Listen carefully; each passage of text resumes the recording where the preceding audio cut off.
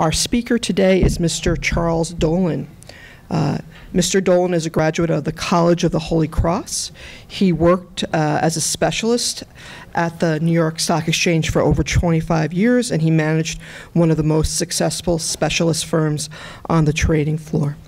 Um, Mr. Dolan and Mr. Pastina recently launched a company, a consulting company, uh, and that is called Global Markets Advisory Group two years ago, signing up America's best technology and finance firms. So today we're going to learn what it takes to be a consultant and how to start your own consultant firm. Thank you. Thanks, Etta. Appreciate it. Thanks for having us back. So when we were talking uh, last week, um, we said we should start with the basics, and uh, the basics really go right to what is a consultant. So I, I consulted the source, Wikipedia, and uh, and I thought I'd just share some a couple little factoids with you about uh, consulting. So uh, the definition of a consultant is a professional who provides expert advice in a particular area, and it could be any number of different areas. Could be in finance, could be in health, could be in security. Uh, but it's somebody who has some professional standing that uh, they can impart to others for a fee. Uh, the other, I found some other interesting things about consulting in uh, Wikipedia, uh, and I thought this was interesting because it certainly applies to Charlie and I. Uh, there is no single qualification to be a consultant. other than those laid down in relation to medical, psychological, or engineering personnel. So we don't fall into any of those uh, categories, just so you know. Uh, consultants may hold undergraduate degrees, graduate degrees, professional degrees, or professional designations. So uh, it's really about, you know, if you have a, a, special skill or a set of knowledge that you're able to share with others uh, for a fee. Uh, the other thing that I thought was interesting is uh, I really kind of honed in on management consulting, and I, I, went and looked at the top 10 management consultants in the U.S., and maybe uh, global as well. Uh, McKinsey was number one in 2016, the Boston Consulting Company, uh, Bain Consulting Company, and uh, Bain, uh, I believe, is, is where um, um, Mitt Romney worked for a while. Deloitte, um, Accenture, Price Waterhouse. So a couple of uh, accounting firms are big in the uh, in the accounting in the uh, consulting area. Ernst and Young, uh, Booz Allen, um, KPMG, and A.T. Kearney. So I, I, thought it was interesting that um, that a lot of the accounting firms are really very heavily into the consulting side because it's a, because it's a natural feeder to their accounting businesses. Uh, and there's a nice synergy that, that they've been able to develop back and forth between accounting services and the consulting side. So um, we're going to get into what it takes to be a consultant in a moment. But before we do that, let's let's get to know uh, Charlie Dolan a little bit. And and Charlie, maybe just uh, just tell us a little bit about you know where you grew up, where you went to school, and maybe your first job out of college. Yeah, sure. Um, and thank you for having me. Um, kind of fun to come back to uh, to a class kind of like this. I taught a lot also at the exchange, but um, to teachers and to people that wanted to come and find out what it was to be a market maker or a specialist, which is now called a designated market maker on the floor. But um, but I started. Um, I went to Holy Cross College. Up man, I grew up in um, Western Jersey and uh, followed a brother up to uh, Holy Cross and um, absolutely had no clue what I wanted to do when I graduated from school. Um, so I looked around a little bit and I found a distributing uh, house of Anheuser-Busch, a private distributing um, house of Anheuser-Busch on the South Shore of Boston, and I figured I knew beer. I could probably handle that. Um, you know, I just spent four years in college, so I, I went and worked for this distributing firm. And um, and I did that for about a year, and uh, it was interesting because when you're, you know, you're a, at an impressionable age, and it, the the gentleman who ran that business, um, and it was a huge business. He owned five of those uh, distributorships, uh, which is I don't know what they're worth in today's market, but um, he used to used to have a lot of different things. He was a, a big big old Marine, and he would stand up in front of you, and I guess, you know, he'd learned different things there, and he passed them along, and he's like, you know, when you're not sure what you want to do, do something, because you're going to learn from it, no matter what it is. So I kind of felt like that's where I was. And uh, I'm the middle of seven kids. I, I love being around my family and kind of realized how much I missed being able to just stop by on a weekend or what have you. So um, I ended up coming back home to Jersey and went in to visit my brother, who was working on the floor of the exchange at the time. And when I walked onto the floor, it was right after the crash in 1987. Um, I, I, guess I wasn't smart enough to realize that there was a crash and people were leaving Wall Street, not going to Wall Street. And and I thought, you know what? I played rugby in college. It kind of reminded me a little bit of rugby, and I felt like, you know what? I could bang heads with these guys down here. This looks like a lot of fun. So, but at that time, firms really weren't hiring people for obvious reasons. If The floor was even in those days contracting a little bit. Um, so I took a job as a what they call a runner, and that was basically just running tickets from one spot to another. Um, and it wasn't that glamorous. And I was thinking to myself, you know, why did I didn't go to four years of college to be doing this? But but I said to myself, I've you know, you've got to work hard. You've got to uh, let everybody see how hard you're working, and maybe we used to call it get picked up by a firm. Um, and so I did that for probably about six or seven months, and um, killing myself. But I remember it was interesting because at that time the processes down there were still very manual. And so there were a lot of these tickets that were flying around. And if you were working your tail off, I was soaked by 10:30 every morning because I was running around that floor so fast. Um, and so I eventually got picked up by a firm, and, and that's kind of how I started down there. I don't know if, you know. Well, Charlie, when you started, um, some, uh, some of the folks have been to the floor of the stock exchange, I think, who are in the audience. How many people were on the trading floor uh, back in, in the uh, late 80s? So when you think about it, there were 1,366 um, seats or brokers that potentially could be on the floor. And I would say for each one of, um, for each person at that time, there were two, call it two and a half uh, people per broker. So there was close to 5,000 people that worked down on the floor. And I think that number today, uh, due to technology, the increases in technology, which really it had to go this way, it was just evolution um, like the rest of the world. I think that number's dwindled down to closer to maybe 700. So it's a very competitive uh, environment um, with a dwindling supply of, of people who are involved in that market. Um, however, you uh, went from becoming a runner uh, to becoming a specialist uh, and a DMM, designated market maker, eventually. And then um, you wound up running your own firm. Could you just walk us through how you went from the very bottom rung to the kind of top rung in, in that yeah. uh, food chain? Yeah, it, it's funny because when, when Lou spoke to me about coming and maybe talking a little bit, um, I thought to myself, well, entrepreneurialism, you know, is that really me? Is it not me? And when I look back at it, I have to say that I, I do think that it's very apropos. I, I think that I went to a place when I finally did get picked up by a firm, we had 20 stocks. So, for instance, if you traded, if you were a market maker in Nike, Nike only trades in one place on the floor of the New York Stock Exchange. So, if anybody was going to buy or sell that stock, they had to go to where that market maker was or designated market maker. And they would ask them for a quote, and they'd say, Where are the bids? Where are the offers? You know, where can I buy 5,000 shares? Where can I sell 2,000 shares? Whatever it may be. And um, so what happened was I got picked up by this firm, and that was kind of like my first day of French class because there's a totally different language to the floor, and um, and it's not like when you buy a house. To me, it's always funny because people say they, you know, you make an offer on a house. You don't make an offer on a house. You make a bid on a house, right? You go to buy the house. An offer to me is the person selling the house, not the person buying it. So even that, you know, there was all this different kind of language that you had to learn. So I started as a, a trading assistant, and the first thing that everyone there said to me is, "Okay, you're responsible to go and get the lunch." So okay.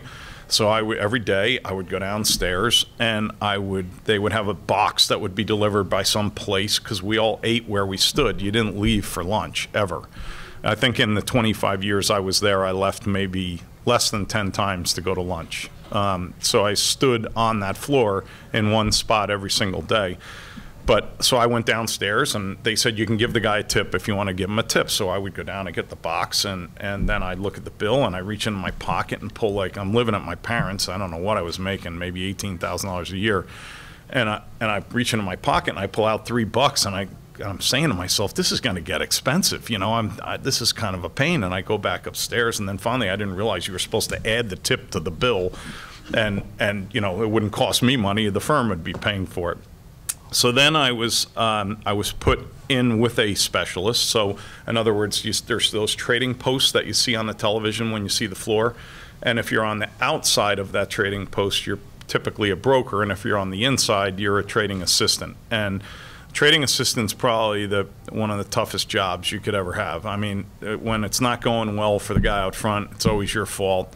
I worked for a drill instructor from Parris Island for four years, and every single night that I went home, I said I was going to quit. And and everybody said, just hang in there, hang in there. And what en- ends up happening is over time, the business was basically, lack of a better way of putting it, almost beaten into you. And um, then when I turned 30, I had a couple things happen. Uh, so I was brought out to dinner by the uh, partners who kind of snookered me into a dinner I didn't know they were all going to be there, and they said, you know, we're going to bring you out and make you a specialist, which was always what you were trying to shoot for. And um, and that year too was the first year I ran the marathon. So I ran through the uh, Brooklyn here, which was fun. So it was kind of a fun kind of two things that happened to me when I was 30 years old.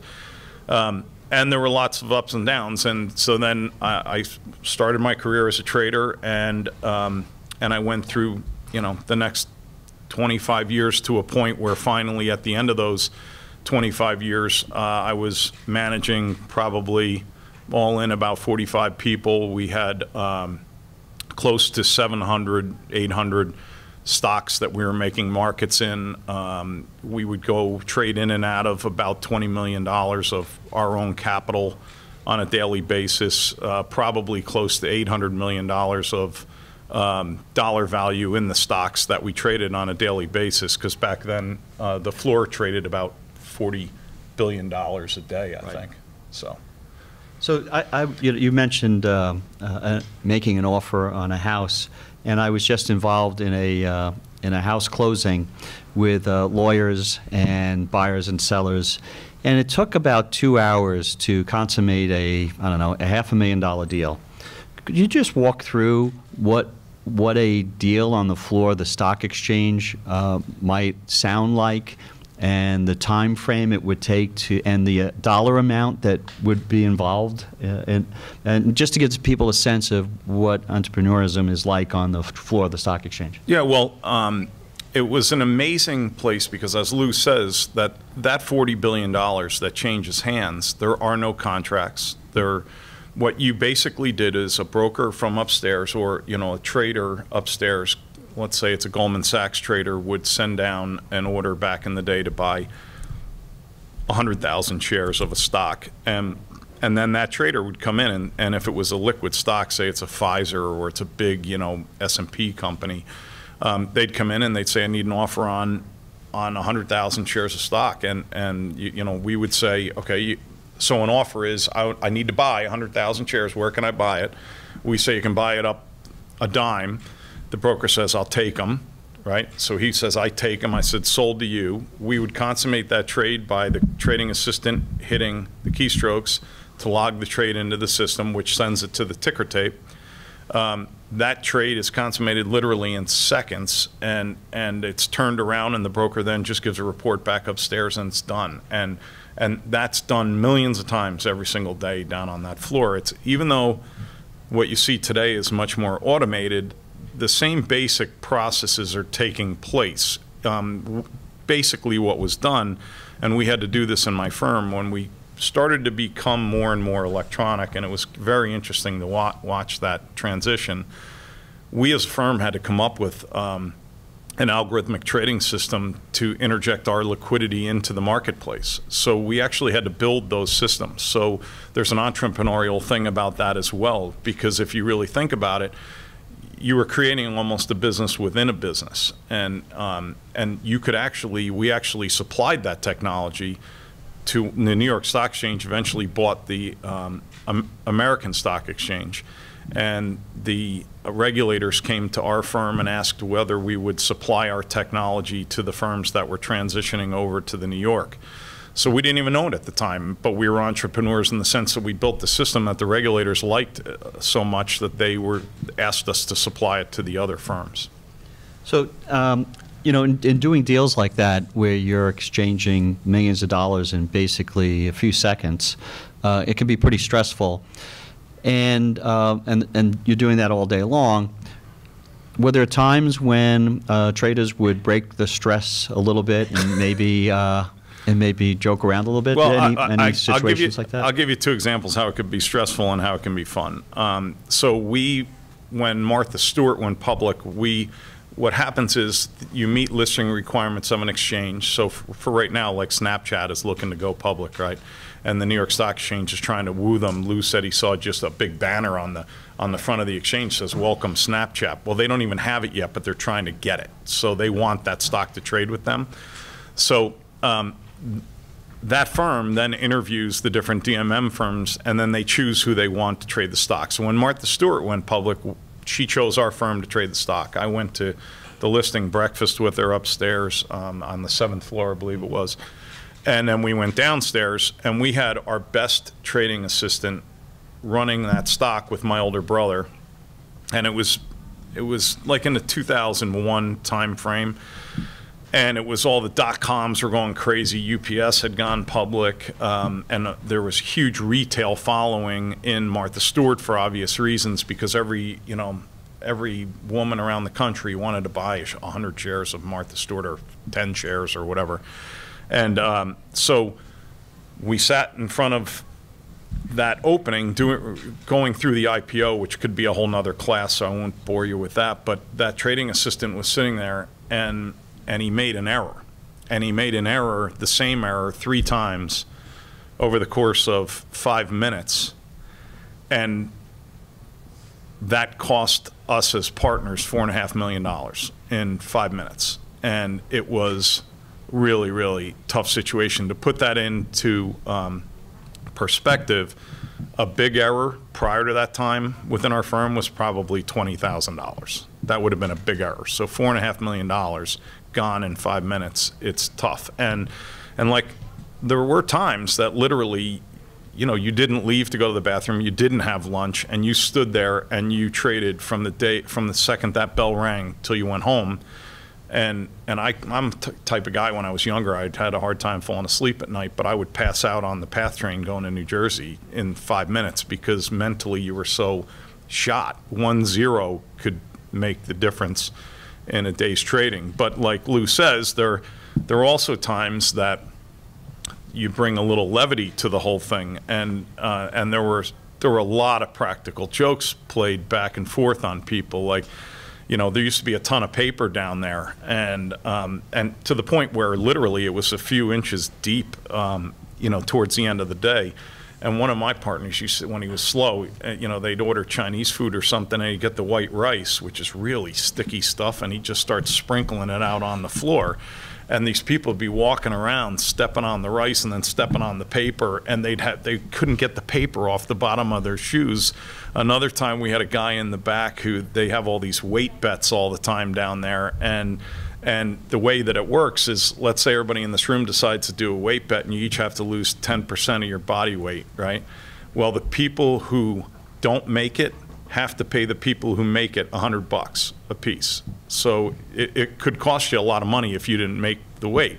So we had this one kid who came in with this giant thing of Slim Fast, this chocolate Slim Fast, and he's like, I'm just going to throw this in here, and he starts shaking it up, and he starts drinking it, and he's like, stuff's actually pretty good. This is going to be a layup. I'm going to have no problem, right? So that night, what he didn't realize is everybody went home. One guy has to stay late to kind of close things up, and that guy took his Slim Fast, dumped it in the garbage, and filled the Slim Fast container with brownie mix. Right? so the next day, the guy comes in. It's 12 o'clock. He gets the two scoops, puts it in the milk. He shakes it up, starts drinking it. He goes, "This stuff is awesome. This is going to be a layup, right?" And two weeks later, he's up three pounds, and he comes in, he's sweating. He's like, I don't know what's going on, you know. And, uh, but I mean, we'd had a ton of different things that we had fun with when it was I slow. hope you let him off the hook. Eventually, yeah. Well, uh, after 25 years uh, on the floor of the stock exchange, eventually your firm was sold to uh, another firm, and um, you found yourself at a time in your life when you know you, you could do almost anything you, you wanted to do, and you decided to become a consultant. Could you just talk a little bit about how you decided to become a consultant? What led you to uh, form the Global uh, Advisory uh, Group? Yeah. Well, uh, it, um, it's interesting how, how things happen, but through, throughout the course of the time that I was at the exchange, and because of the fact that I participated, the exchange is a self-regulatory body, so we enforce the rules ourselves on the floor. And so there's a hierarchy of, um, of folks who do that. Um, the bottom rung is a, is a floor official who can make basic rulings on, on different situations that take place. Uh, you can then become a senior floor official, and then a governor, and then a senior governor, and then a, um, and then an executive floor governor. And so when you get to the end of that rung, there's probably at the time there were probably 150 um, officials, floor officials, and and then governors. There were like 16, and then there were only like five executive floor governors. So I ended up getting to a point where I was an executive floor governor appointed by the uh, CEO of the exchange. And um, you could then make more serious rulings in bank stocks and different things like that that that needed that type of expertise to kind of, um, you know, if there was a bad trade that went on, how do you handle that? What do you do about it?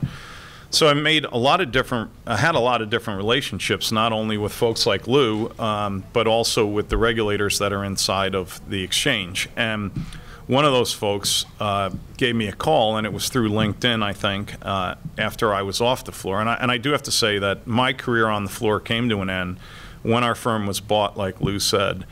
Um, a firm that bought us gave me a pretty significant contract to run the firm for them for the next year, more money than I had made in the previous three years combined. And three months into that, it became pretty clear to me that they weren't so interested in the rules. And I made a decision. I have three kids at home uh, 16, 14, and 11. And every day I try to teach them that the most important thing they have is their name. And to me, I, I have to live that too. And I ended up walking away from that contract because I think that no matter what happens to you, and this goes to everybody in this room, your name means more to you than anything else. It just do the right thing and don't hurt your name. You know, I, it's funny. Somebody because I say that all the time. Somebody sent me this poem and it just talks about that your father handed you that name and you need to hand that name to your children, right? And it was good when he gave it to you, so it should be good when you pass it off. Um, and I believe that. So I took away, uh, I took a, a walk from that, which my wife wasn't so excited, but I, I figured I have to do the right thing and the right things will happen. Um, so anyway, this former regulator called me up and said, you know, you were terrific on the operational side of the exchange. I'm pretty good on the regulatory side. Maybe we should do something together. And that's how this whole dialogue started. So when we began to think about that, um, we started to um, offer services out to companies. So a lot of firms, uh, broker dealers in the um, in the trading universe have problems that they need to address. So we said, well, you know, we live that and we like it. Why don't and and the trading side of the business is shrinking. The number of people that are out that are out there as traders is shrinking due to technology, but the regulatory side of the business is never going to go away. So maybe it makes sense to try to dip our toes into that. And we started that way. Now, I'd be lying if I told you that I knew exactly what we were going to be and what we are going to be. Um, uh, what I have found, at least, is in trying to do this, this business morphs into things. And, and it's kind of funny. We, in the office that we have out in Jersey, we get a phone call every once in a while of somebody asking if, if this is the house cleaning service. And I said to my partner, listen, the answer is yes until we figure something else out. I said, if somebody calls and asks if we can do dental work, the answer is yes. We're going to figure it out, right? So, so You're a little humble, Charlie. You, you know, you, you spent 25 years on the floor of the stock exchange, and during that time period, you acquired um, a set of expert knowledge on the rules. Yeah. Um, you built a reputation for integrity and honesty, uh, and through relationships that you had with people both at the exchange and at the regulators at the Securities and Exchange Commission and at FINRA, which allow you basically to walk into either the chairman's office or a commissioner's office uh, and be welcomed. How did you uh, parlay that into the consulting firm, and what type of uh, clients um, did that bring to you? Yeah, so so the the first thing is, like I said, we started working um, with the folks at FINRA um, to help some firms that were having regu- regulatory issues. And you can either have a review that's mandated by the regulators, or you can just want an internal review done of your own processes. And so we did both of those things. So so that knowledge over time helped there. We were then, um, not just myself, but, but Lou as well, um, we went in, there's a huge industry initiative, um, and this is, if you're a techie, you would love this.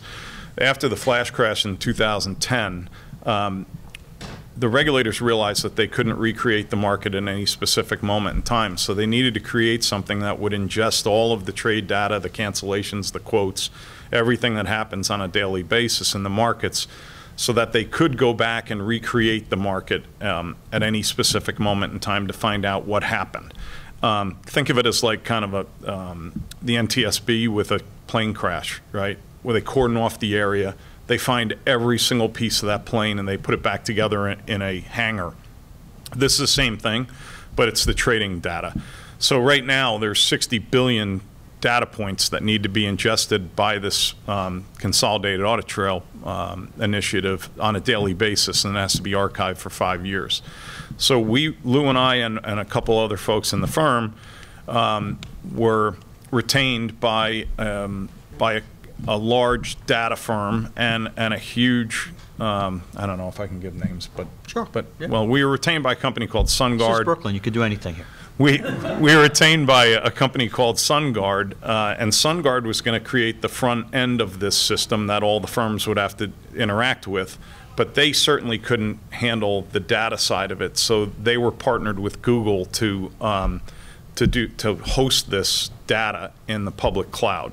So as a result of just being out there and, and having those relationships, we got in with these folks. And now we're in the process of potentially signing a deal to work with Google on their financial services platform to help them think about where the business is going in the future and, and how do they address it. And the other thing that you realize over a career of 25 years, and like Lou says, um, you know, trying to do the right thing day in and day out is you can make phone calls to people that could significantly influence someone's business. And you can go down and see the SEC or, um, and we know folks there, and, and like Lou said, and FINRA and different spots like that. So it has been super helpful. So, if you had a suggestion um, for the students about uh, becoming a consultant uh, as they build their uh, kind of entrepreneurship skills, what kind of uh, thoughts would you would you pass on? Well, I mean, I, I think that knowledge is king, right? And and I think that um, that I would never look down upon an opportunity as as something that might be below you. Like I can just remember that, and it's hard because I witnessed this down on the floor. We used, had this one kid in particular who graduated from Georgetown, and he came and worked for us for the summer. And you know, there was now this other guy getting the lunch who had been down on the floor for 20 years, and th- and we said to this kid, "Listen, you're going to get the lunch. He's taking the summer off." And three weeks later, I noticed that the, this guy Davey, who was the heart and soul of our firm, was getting the lunch again. And I said to him, "What's going on?" And he said, "Well, the kid says he's not getting the lunch, and I have to get it." So that didn't go over so well, right? I mean, this person said, I didn't go to Georgetown to go get the lunch. Well, you get the lunch, and you get the lunch better than anybody's gotten it in, your, in their life. And, and, and listen to people, right? And I just think that each opportunity, you got to try to figure out what you can pull from it. I, I look back even at that job with Budweiser, and I think to myself, there's still things that I think about that helped me along the way when I had that job. It was it the perfect job for me? No, but um, but I think it's important to keep an open mind as to things that interest you and try to drive yourself towards those things. And uh, and I would absolutely say just never sacrifice your ethics. Um, Charlie, before we open it up to questions, because I know we have a group that uh, needs to leave by 1 o'clock, um, I- just wanted to ask you, who you consider to be your role model, both uh, you know, for your entrepreneurship uh, and for uh, your work ethic? Uh, well, like the obvious answer would be my father, obviously. Uh, well, not obvious to you folks, but my father was a trial lawyer in, in Newark, New Jersey for his entire life, um, and started a firm there that was five folks. Um, I I'll never forget a story. Like the the real senior guy at that time, you know, with five people, came to the other partners and said to them, "I'm leaving," and he had all the business.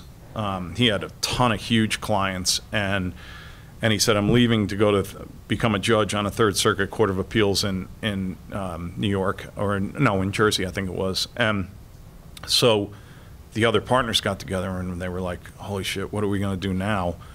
You know, the the big guy's leaving, and someone said, "You know, who can take over the caseload?" And my father raised his hand and said, "I'll do it. I can do it." And he went home to my mother and said you know, there's seven kids. There's, it's it's a complete disaster at home, and and he looks at her and says, uh, "I told them I could do it." She said, "Can you do it?" He goes, "No, I can't do it. I, but I'm going to do it, right?" And and so he built that firm from five lawyers to 250 lawyers, and to me, there'd be nothing more fun than than to try to create something again. And I, so I look at him and I look at the way he lived his life, and certainly the uh, I was fortunate enough to work for uh, a man by the name of John Lydon. And John Lydon allowed me to live my life the way that I was brought up. So that also instilled in me, I think, um, that ultimately, no matter what happens, as long as I've got my name, I, I'll be okay. And and I think that's that's super important to think about. Uh, I know it sounds just kind of it kind of sounds silly, but I think in today's day and age, you know, everything's about a quick buck or or trying to get ahead fast. And I and I think you know, dues are meant to be paid. If it's worthwhile, it's going to be difficult to do. And when those four years, when I was getting my head handed to me every single day, and I wanted to quit, you know, when I look back at it, it was healthy. It was it was actually tough, but it was it was worthwhile. Actually, I don't think we hear that enough in life, so that, that's uh, good stuff. Uh, be- Before we take questions, um, I just wanted to mention that, you know, uh, Charlie and I and ano- another partner, uh, Kevin Trimble, uh, formed this company. It's actually a limited liability corporation. But you may find yourself um, uh, becoming a consultant only because of today's job market. Uh, you may be uh, independent yourself. Companies sometimes hire people, but they don't hire them as employees. They hire them as uh, an independent contractor, if you will. And that's another form of a consultant, right? So if you come out of school and perhaps you're terrific at coding, or you have some IT skills, or you have some other type of skill that's in high demand, you may find that um, you're your own um, your own business and you're working as a consultant or a contractor for a firm, which means that you know you have to pay your own taxes. They'll give you a 1099. It's a different kind of relationship than the traditional employee uh, employer relationship that uh, that has been prevalent in the past. So. Um, being a consultant uh, might be something that's in, in your future uh, as well. So with that, I, I think we have about 10 minutes before 1 o'clock, and I want to make sure that you do get out of here to catch the bus, so I don't want to be uh, blamed for you not getting that bus. So let's, uh, let's open it up for a couple of questions. I know there's a lot of different types of consulting. So, like, what is the most lucrative? Like, like I know there's so many different types, but out of all, like, I know there's financial security, the, uh, a few other things. We like, could tell you it's not what we're doing. All right. Well, um, here's, to that question, it- it- there is, there was an interesting, uh, uh, I think I have this, I kept it here somewhere. Oh, yeah. So, um, and this isn't just consulting, but um, these are total revenues for uh, at least four of the firms that I mentioned before. So Deloitte's total revenues were 14.7 billion, um, and Price Waterhouse Coopers uh, 12.7, uh, E&Y Ernst Young 12.1 billion, KPMG 10.7 billion. So. Um, if you if you're in one of those Big Four accounting firms, uh, th- that sounds like they, they do okay. Um, However, you know, there, there's, there's all sorts of uh, consulting relationships, and I think it really depends on the, uh, the expertise that you have and, and what you can bill yourself out at. It's one of the interesting things, uh, struggles that uh, Charlie and Kevin and I have had as consultants. What do we charge? Yeah. What are we worth? Uh, If we took our prior salary, divided it so that we came up with a per-hour rate, is that, is that a, uh, you know, the right charge? Is it whatever the market can bear? Um, Is it what other consultants in our categories charge? A very difficult question to price your own services. I don't know if you have And, Yeah, I would, I would add too that uh, probably some of it is dictated by how busy you are, right? So if you've got six, seven, eight, ten things going on at the same time, and somebody calls you and says, we could really use your help with this, you feel a lot, you know, if you say, okay, well, that's going to be 800 bucks an hour, um, and if they say no, you're like, okay, bye. You know, um, but that's that's high. Don't get me wrong. Um, the other, and I would add to what Lou said as well. The other thing that we think about is firms don't like that open-ended. I'm paying this guy hourly. I don't. He's not in my office. I don't see the person. You know, I'd rather have a flat fee for a project. Um, so we've kind of learned how to step back and back into a number that we think is reasonable, but we also try to protect ourselves by saying, okay, you know, we will we'll work for X amount to finish this project. But, you know, if there's really outstanding things, or there's something within the project that, or the scope of work that you're asking us to do that's outside of it, which seems to happen a lot, you have to be very careful about that. So, so for instance, we were hired to review recently some exchanges so that another firm could use their technology. And then the person said to Lou, well, we need to hire an operations person. Could you help us do that? Well, certainly if we gave them a number to do the first job, Lou should get paid something in addition for vetting a, an operations person to hire, right? So we call that drift of scope, kind of. And I, and I would say that you have to kind of be careful about those types of things and you have to stay focused on what you say you're going to do because your knowledge is your worth, right? So. So, so to us, at least, um, when, if you're an independent person, you are your bandwidth, right?